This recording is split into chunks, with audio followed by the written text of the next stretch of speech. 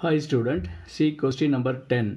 Solve cos squared x dy by dx plus y equal to tan x.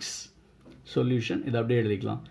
இப்போ dy by dxக்கு பக்கத்தில் cos squared x இருக்குது இல்லையா அப்போ the throughout we have to divide cos squared x ஃபுல்லாக cos squared x ஆல் divide பண்ணிடுங்க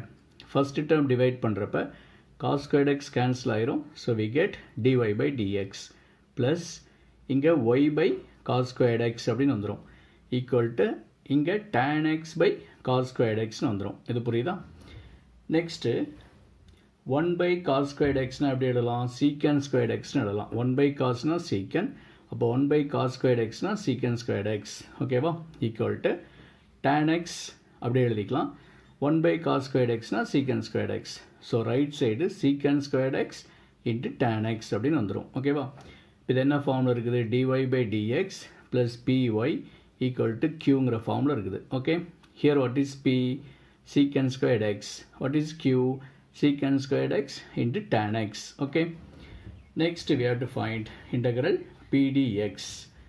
integral பிடிஎக்ஸ்னா what is p here secant square x so integral secant square x d x secant square x integrate பண்ணால் tan x okay next integrating factor e power integral pdx equal to e power tan x e power tan x னா அப்படியே வச்சுக்கணும் இதை ஃபர்தராக simplify பண்ண முடியாது e power tan x தான் இதுதான் integrating factor okay next solution what is the formula for solution y e power integral pdx equal to integral q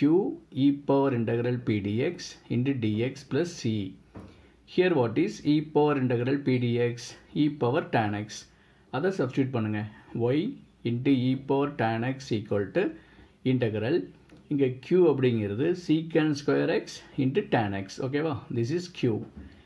into e power integral பிடிஎக்ஸ்னா e power tan x d x ஓகேவா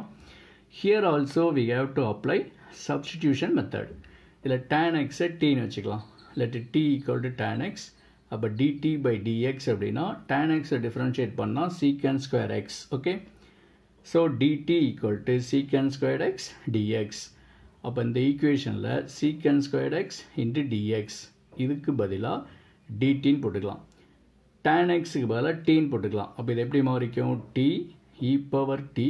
into d t அப்படின்னு வந்துடும் ஓகேவா left side அப்படியே எழுதிக்கலாம். So அப்போ next step y e power tan x equal to integral t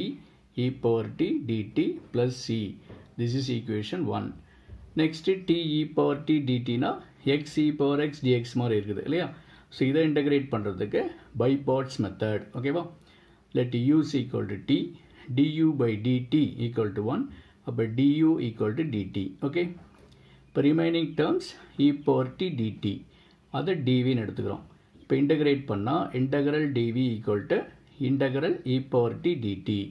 integral டிவினா v e power t integrate பண்ணால் e power t தான்